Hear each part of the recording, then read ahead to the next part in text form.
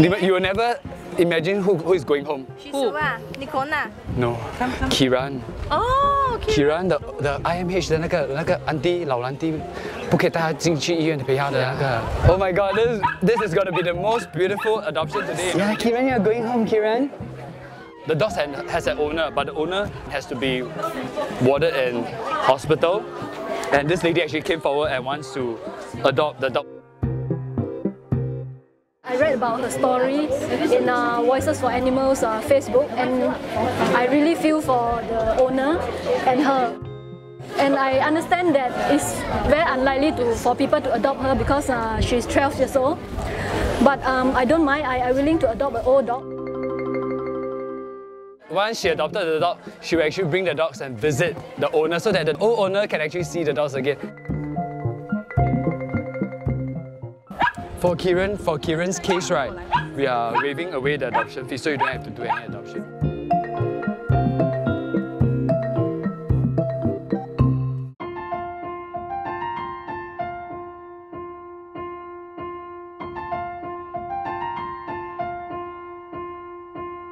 we are looking for people with an open heart. They actually look at the dogs beyond their physical appearance. We want all the adopters to come with such mentality. Some of them, they just want to help the dog, but some of the dogs, they require a lot of medical, financial needs. A lot of people, they, they are unaware of this, so this is a thing that we need to prep them. Our screening team will actually ask about the background and actually they need to share with us the information. If they actually pass through the first, uh, first stage of interview, we will actually bring the dogs to interact with them. Perhaps love at first sight.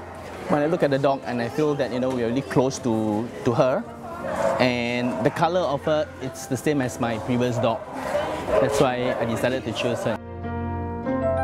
After that, there'll be another interview so that you'll ask them more of an in-depth question, getting into more personal, like their family background. Once they share and we actually find that they're really the ideal family and the dogs is really comfortable with the owner, so we will actually do the necessary releasing.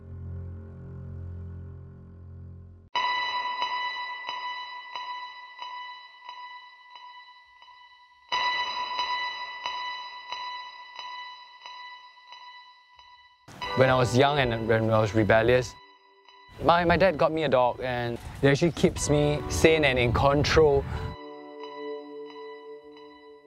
I was pretty much of a hot-tempered person, but my animals was beside me, they are able to calm me down. So that's how I feel that animal therapy is important because I'm the one actually experiencing it. I was working uh, in the police canine unit for about 10 years and I actually went underwent various dog training from security dog training, narcotic dog training, and explosive dog training as well. Working with animals is definitely better working with, with humans. The dogs being the most loyal animals when it comes to situation and they wouldn't abandon you, they'll, they'll be there to protect you, they'll be there for you. So you have really guaranteed yourself a best partner when you join the police canine unit because we wouldn't play out in a way, they will actually protect you.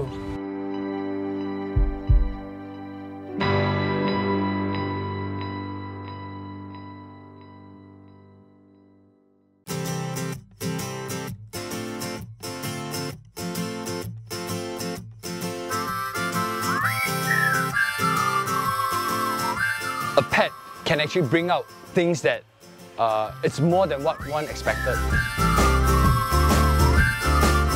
we go to a Society for the Physically Disabled, it brings them laughter and they actually bring joy.